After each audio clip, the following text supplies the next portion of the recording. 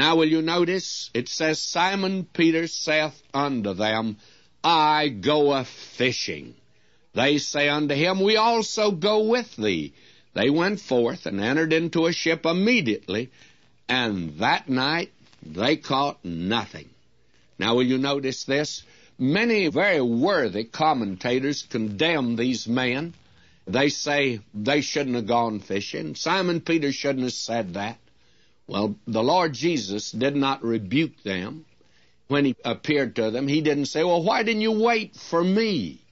And it's Bishop Ryle who wrote, I see no harm whatever in Peter's conduct in this particular incident.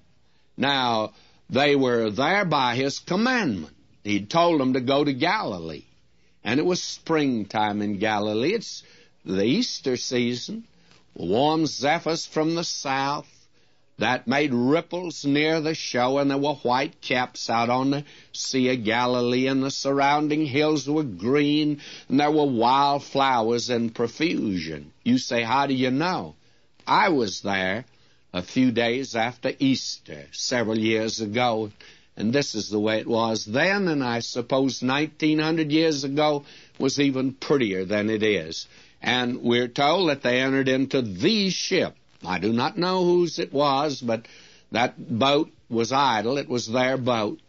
And I think they waited and waited and waited, and Simon Peter would be the one to become very impatient. He'd paced up and down. Finally, after he'd waited and looked up and down the show and said, Well, the Lord hasn't come, and he just blurted out, I go a fishing. And six others voted yes.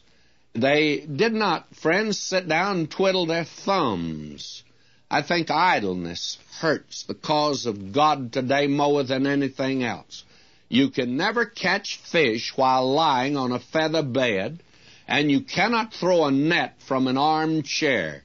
And we have today very many armchair coaches. They're Monday morning quarterbacks. They're bleacher umpires. And by the way, they're pew preachers. And when I say pew, it's P-E-W, but it could be spelled the other way. There are many today that can sit in the pew and tell the preacher how he ought to do it, you know. Thank God that there are some that get up out of the pew and they go out to go fishing for him today. And maybe they do blunder. Maybe they didn't wait for orders, but thank God they're out doing something for God today. And very frankly, we have too many fundamentalists sitting on the sidelines who are actually doing nothing to get the Word of God out, but they're criticizing. God have mercy on their souls. Now, these men went out, and I want to say to you, our Lord never condemned them for that. But you know what happened? They went into the ship and they fished all night, and you know how much they caught? they caught nothing. And Dr. Scott always said this is the failure of the experts. You see, these men were piscatologists. That means they sure knew how to fish because that's the way they made their living. They knew all the methods.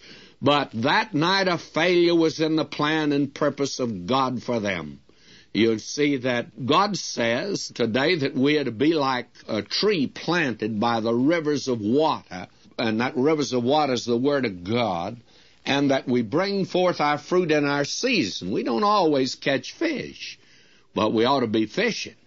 And we live in a day when everything is measured by the yardstick of materialism. Mathematics is the language of success and statistics are the inspired word today and the Bible of the world. And I guess I'm as guilty as the rest of them. We always like to give numbers today, and I must say, on this radio program, we more or less measure it like that. But they didn't catch a fish all night.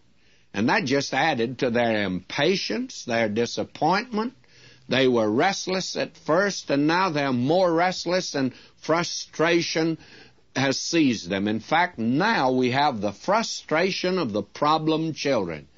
You know, it's easy to fish when you catch fish. It's difficult to fish when you're not. That's the reason I've always sympathized with old Noah. He preached 120 years and never had a convert. I would have quit long before 120 years it would have been 120 days, and I would have turned in my resignation to the Lord. But here will you notice? We find that they've had this bad night of fishing, but it's morning now. Must have been a glorious morning there at the Sea of Galilee that morning I was there. I just felt like shouting when I thought of this incident.